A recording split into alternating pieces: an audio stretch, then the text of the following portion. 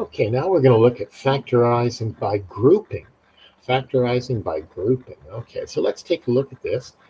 And you've got 2x squared plus 2x, and you've got 3x plus 3.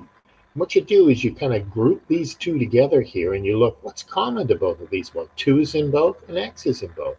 So 2x times x gives me 2x squared. 2x times 1 gives me 2x. So we just do a common factor here. Now I see 3 and 3 here in both. 3 times x plus 1. 3 times x is 3x. 3 times 1 is 3. 3 is the common factor for these two terms. Now if you look at these two terms here, I can see that x plus 1 is common. It's in both. So I write it down once, x plus 1, and I write the other parts, the 2x and the 3 down here, and it works perfectly. x plus 1 times 2x gives me this part. x plus 1 times 3 gives me this part we say x plus 1 is the common factor to these two new terms. Okay, so let's take a look at this one.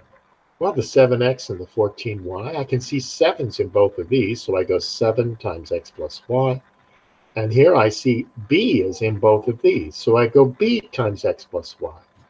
And the way they make these questions work is if you've done it right, you look at it and you go, oh, look, there's the x plus y. It's common to both. So you put it right there x plus y times 7, x plus y times b. You can put 7 and b, the other two parts you put there.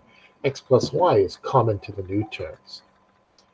Then we have a whole bunch of questions, well, nine questions, 10 questions for you to practice this thing. Um, you need to practice. So uh, there's a memo with it as well. Hopefully you can do it looking at this video and doing your best.